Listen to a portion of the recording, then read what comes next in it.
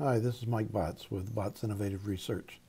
We've been working with New York State GIS to, to integrate a lot of their disparate sensors using a technology called Open Sensor Hub.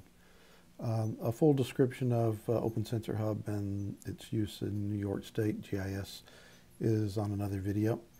Uh, what I wanted to focus on this time is to, to show you how we've been able to add uh, geolocation or draping of imagery and video from a, from a drone in real time. Uh, right now what I'm showing is just some of the data that's available up in New York State. The data in New York includes sensor systems such as traffic cams, USGS stream gauges, the NOAA ocean buoys, AVL fleet data, meaning automated vehicle location, uh, Mesonet weather. This is in addition to things like laser range finders that can allow you to tag remote locations of interest, and Android devices, Android phones, which uh, make very capable body cams, uh, dash cams, and drop cams. The ability to ingest these sensor observations in Open Sensor Hub and to request them uh, as needed or as desired now allows you to integrate all this sensor data into a common operating picture as we're doing in the current client. You can also integrate these data into workflows so that you can uh, do higher level reasoning and actually uh, trip responses based on sensor observations. At the moment, we're not in New York State. We're down in Madison, Alabama. We will be coming to New York soon to be able to demonstrate in real time the integration of this drone video data with the other data sets that you've seen here so far. But for the moment, we'll use the same client uh, along with some previously recorded data down in Alabama.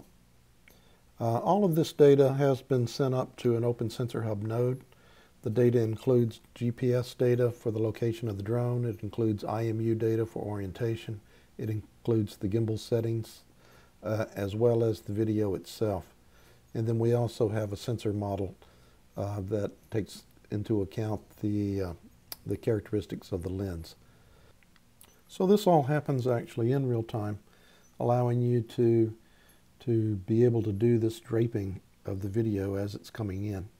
Uh, you can also take previously uh, recorded data from, from an Open Sensor Hub node and stream it as if it's uh, a real-time playback and do the same thing. So what you're seeing here is exactly what you would also see in real time.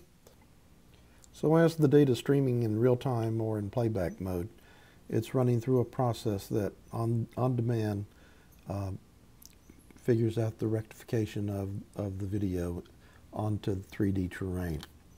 You'll notice it's not always perfect.